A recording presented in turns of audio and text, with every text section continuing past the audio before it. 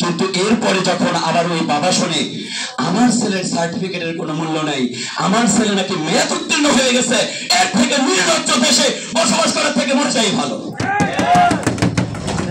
আমরা মেধার মূল্যায়ন চাই। বয়স বৃদ্ধি করতেই হবে। কিসের বয়স সীমা?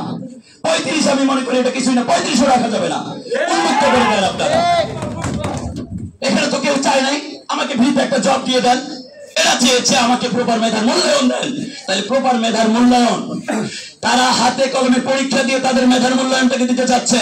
তারা এটা বলতেছে না, আমরা শাহবাগ ভোগ করব। আমাদেরকে যদি একটা সরকারি চাকরি এমনি দেওয়া না হয়।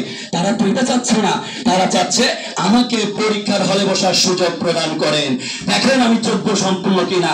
দেখেন আমার যোগ্যতার মূল্যায়ন আমি করতে পারি কিনা? তারা তো এতটুকুই চাচ্ছে।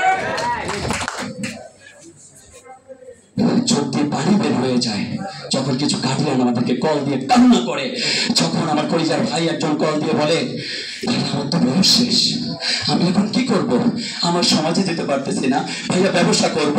বাবার কাছ থেকে টাকা নিতে পারতেছি না। বাবার কাছে যখন টাকা চাচ্ছি, বাবা বলতেছে, তোর পেছনে চোদ্দ, পনেরো লাখ, বিশ লাখ টাকা দিয়ে তোর অনার্স কমপ্লিট করে মাস্টার্স কমপ্লিট করে সার্টিফিকেট অর্জন করেছি। তোকে কি ব্যবসা করানোর টাকা দেওয়ার জন্য? স্বাভাবিক তো তৈরি বাবা বলবেন বাবা বলবেন কেন এতগুলো টাকা খরচ করল আমার পেছনে? আমি যদি আজকে শিক্ষিত না হয়ে, আমি যদি মানে শিক্ষা গ্রহণ না করে, ঢাকায় এসে সাইটের কাজ করতাম, রিক্সা চালাইতাম, তাও তো আমি আমি আমি আমার বাবাকে প্রতি মাসে দশ হাজার, পনেরো হাজার, বিশ হাজার টাকা করে দিয়েও দেখা যায় তো যে যে পনেরো লাখ বিশ লাখ টাকা আমার বাবা আমার পেছনে খরচ করেছে, এই বিশ লাখ টাকা আমি আমার বাবাকে দিতে পারতাম।